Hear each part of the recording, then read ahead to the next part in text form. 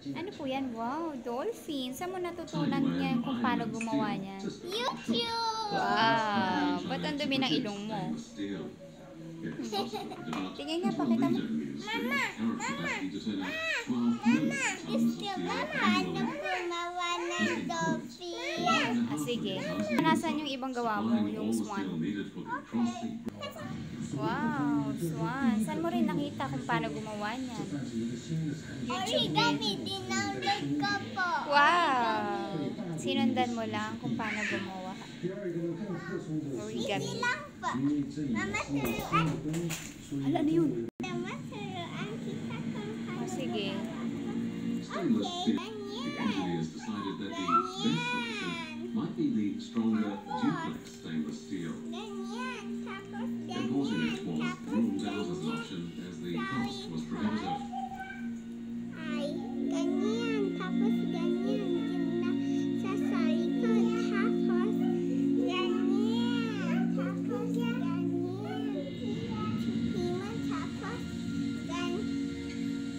Itself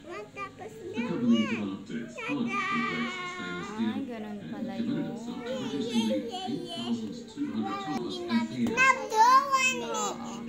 Gumawa siya ng whale. Dolphin yun. Ito, oh, yun, oh,